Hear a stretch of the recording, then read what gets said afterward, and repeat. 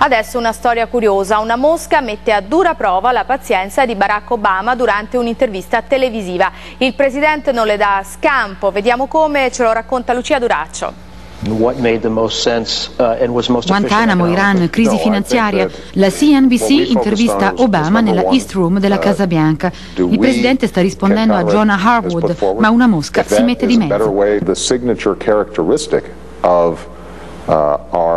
Sorry, I'm going to start over. Hey! E dai, vai via di qui. That's the most persistent fly I've ever seen. Nice. Buono. Now, Dove eravamo rimasti?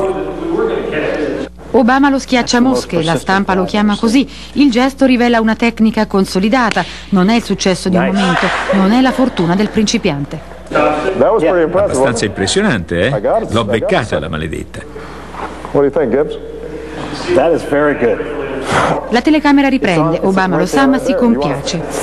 La vuoi filmare? Eccola qui. Da oggi nei libri di storia, una mosca messa al tappeto.